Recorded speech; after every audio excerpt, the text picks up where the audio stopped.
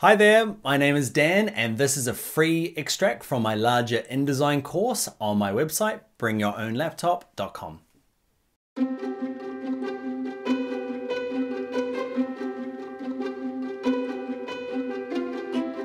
Hi there, in this video we're going to work with a file that's been sent to us by somebody else and we're going to have some issues with the images not being loaded and in the next video we'll look at with the fonts not being loaded. So first of all, let's go and go to File, let's go to Open and download the exercise files. And in there's a file called O2 existing work. Open that up and there's green at heart prospectus. Open them up. And warning, we're missing some images. It might say modified. Okay, let's click OK. It also might say we're missing fonts and we'll do that in the next video. But basically this is what we've got. Okay, we got a document, but these images are missing. The weird thing is, is that I can see them. They're right there. Okay, why can't I use those? Is it that they print really badly? They look okay on screen, but they print really badly, so we need to link them back up. Now this highlights one of the differences between InDesign and Word. Word, when you put an image inside of it, it kind of just packages it into the docx file. Okay, when you send it to somebody, it comes along with it. With InDesign by default, it likes to link to the images. Why do we do that? It's because the InDesign can run super duper fast when it's only linking to it.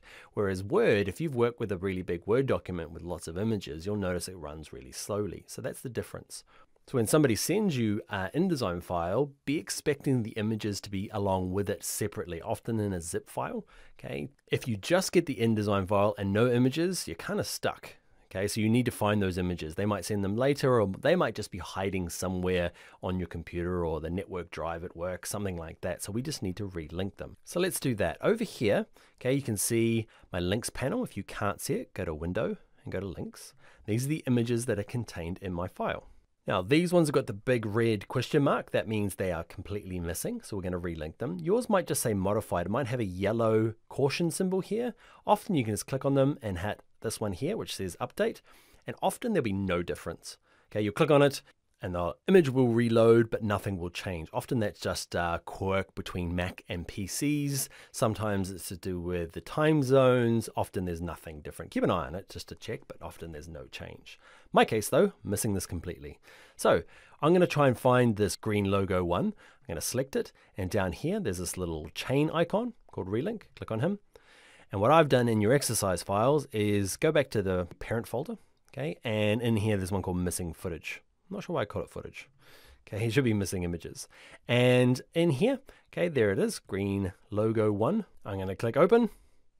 Okay, and it's gone and replaced it. Now you can select more than one. So I selected the first one, hold it shift, click the second one, go to relink, and it's looking for this first one here called tabletop.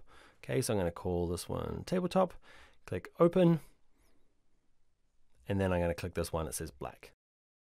Nice. Okay, so they're all relinked, they're ready to go, they're not missing anymore. What you might find is this word content here is pink and looks kind of strange. It's because you're missing the font. So let's go into the next video and look at missing fonts and fixing those.